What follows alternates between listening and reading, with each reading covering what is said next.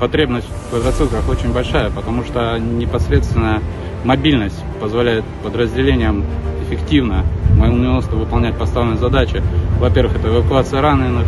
При штурмовых э, задачах э, это скрытность перемещения. стата в использовании позволяет любому солдату сядет и поедет, как бы проблем в этом нет.